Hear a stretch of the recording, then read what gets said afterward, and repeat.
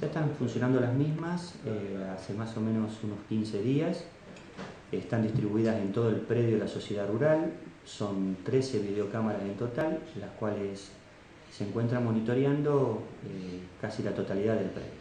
Bien, ¿con qué objetivo se han colocado estas telecámaras? La idea de, este, de estas telecámaras es poderle brindar a la gente que utiliza o que trabaja en la rural, ya sea con salones de fiesta, la señorita que tiene, la señora que tiene alquilado eh, una parte de la rural para hacer cumpleaños donde se encuentran menores que concurren habitualmente, se encuentran los chicos de patín por el club central que también hacen actividades deportivas, es darle la tranquilidad de que si sucede algo en algún momento, queda todo registrado. Nosotros vimos desde la sociedad, desde la comisión de la sociedad rural, de que es una forma de desalentar eh, las pequeñas cositas que están sucediendo a nivel ciudad. Es una forma de proteger la gente que está aquí y es una forma de proteger también a la ciudadanía en general, porque tenemos muchas cámaras que están enfocando y dan hacia las calles laterales.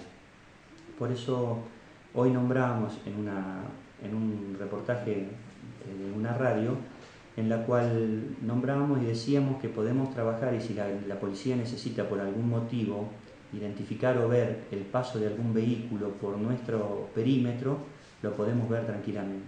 Claro, sería una forma también de, de colaborar y cooperar con, con la policía local, más allá de la, de la seguridad que ustedes están buscando a nivel institucional.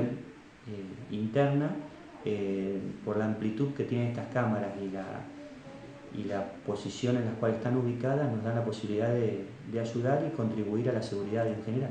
Claro, bueno, quienes se acercan aquí a las oficinas eh, ya pueden ver un monitor con alguna ¿no? de las cámaras, las imágenes que van tomando minuto a minuto. Exacto, la comisión directiva compró un televisor, un televisor LED de 40 pulgadas, el cual se encuentra instalado en la administración y está funcionando con, mostrando cuatro cámaras.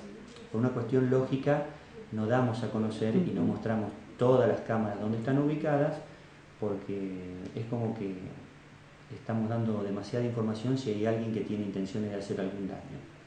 Lo que se puede quedar tranquilo es que para ingresar, eh, hoy por hoy, sin ser visto, se les va a complicar un poquito. ¿La inversión de cuánto fue? La inversión total de las cámaras, porque hubo televisor LED de 40 pulgadas, computadoras de alta potencia, 13 videocámaras y bueno, todo lo que eso conlleva estuvo en alrededor de 80 mil pesos inversión. Que fueron afrontados por la comisión directiva aquí de la que Fueron afrontados por la comisión directiva.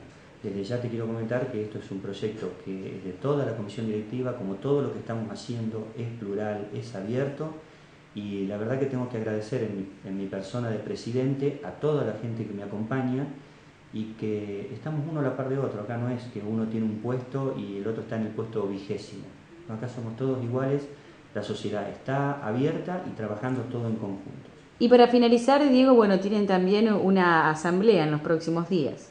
Exacto, el día 26 de marzo a las 20 horas en primer término, el primer llamado, es la, la asamblea anual donde se designan dos socios presentes para que suscriban el acta de la asamblea, eh, se hace la lectura del acta de la asamblea anterior y por último se pone a consideración de, la consideración de, todos los presentes la memoria y balance del ejercicio desde el 1 de enero al 31 de diciembre del 2013.